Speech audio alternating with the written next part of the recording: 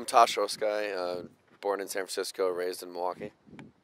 I'm Mo Harmon, born in Detroit, uh, live here in LA now. I'm Jac Currie. I grew up in Belize and lived in New Orleans.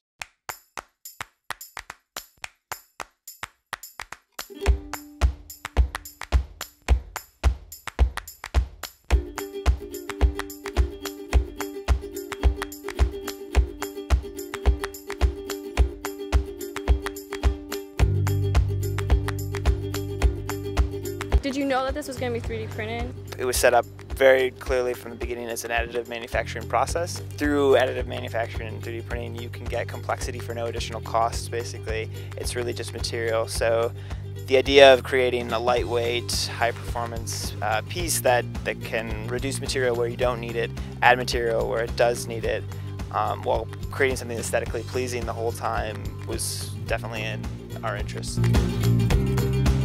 I think one thing was really important for us too in, in our product was to, to tap into a culture that was local and in California and knowing the history of the historical precedent of skateboarding in California.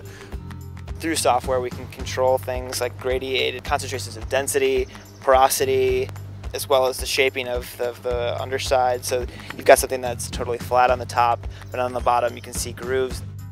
There is kind of this like removed yet very relatable process where we're still kind of hands-on molding and shaping the board. Plywood boards are made with layers, like often seven layers, and we took that same layering process and applied it to this digitally. So we create different layers that got stacked um, in the computer.